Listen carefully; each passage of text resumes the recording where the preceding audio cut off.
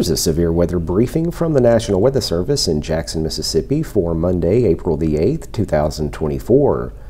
A couple of important topics we'll be discussing on this briefing will be the threat for severe storms across the area through midweek, as well as the threat of flash flooding. For today, a marginal risk for isolated severe storms exists across the majority of the area, primarily between 2 p.m. and 11 p.m. today. Hail up to the size of quarters and damaging wind gusts will be the primary concern with storms today, but a brief tornado can't be ruled out. On Tuesday, the threat for severe weather will primarily be over central and western portions of the area during the afternoon and evening. A slight risk of severe storms exists over northeast Louisiana and portions of southwest Mississippi and southeast Arkansas. Damaging wind gusts up to 60 miles per hour, quarter to golf ball size hail, as well as tornadoes will all be possible in this slight risk area on Tuesday. Then on Wednesday, an enhanced risk for severe storms will exist over central and southern portions of the area from late morning into the evening as the last disturbance drags a cold front east into and through the region during the course of the day. Damaging wind gusts up to 70 miles per hour, up to golf ball size hail, and tornadoes will be likely in this enhanced risk area on Wednesday.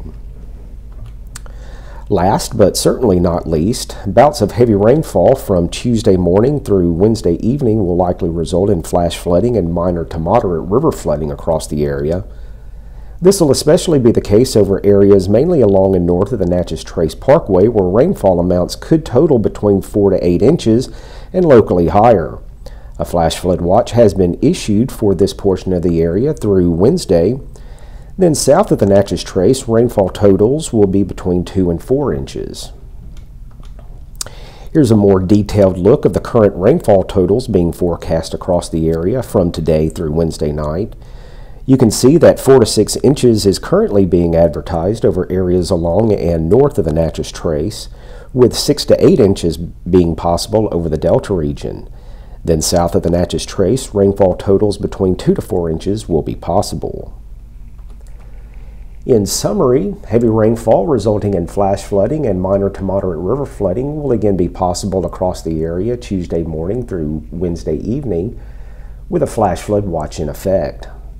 A marginal risk for isolated severe storms exists nearly area-wide today, with the most favorable time frame for severe storms being between 2 p.m. and 11 p.m. A slight risk of severe storms exists over western portions of the area Tuesday afternoon and evening, with a marginal risk across central portions of the area. An enhanced risk for severe storms exists across central and southern portions of the area Wednesday, with a slight risk across the north, with quiet weather returning Thursday into Friday. Thanks for tuning into this severe weather briefing. If you have any questions, please feel free to contact us via one of the methods listed here.